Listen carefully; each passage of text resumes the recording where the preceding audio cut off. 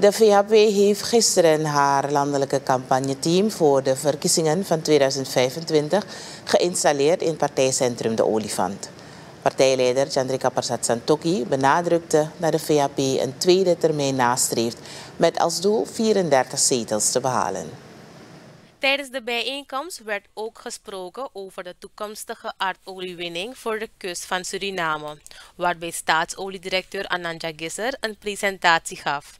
Santoki benadrukte het belang van stabiliteit en herstel van internationaal vertrouwen, terwijl hij waarschuwde tegen terugkeer naar de problemen van het verleden.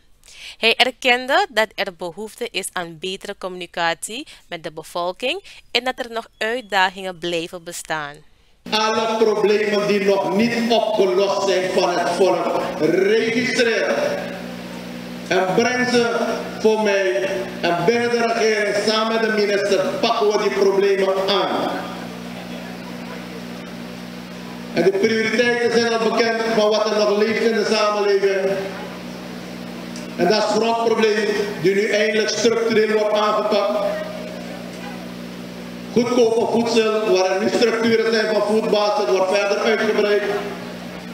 Onze landelijke woningbouw, die nu al begint met het zichtbaar maken van woonoplossingen, komt nu goed op gang.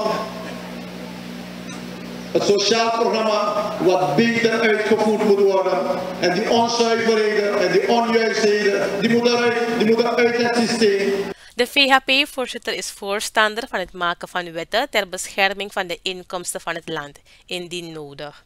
Santoki is ervan overtuigd dat herstel voorbij is, stabiliteit is bereikt en dat groei eraan komt, met de harde inzet van de partij. De VHP staat achter het veiligstellen van de toekomst van Suriname, zegt de VHP-topman.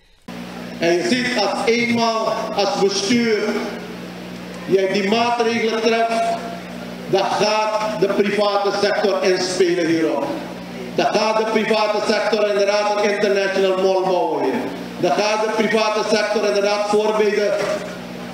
voorbereidingen treffen voor een tweede airport. Dan gaat de private sector inderdaad nu een tweede en een derde Marriott openen in Suriname.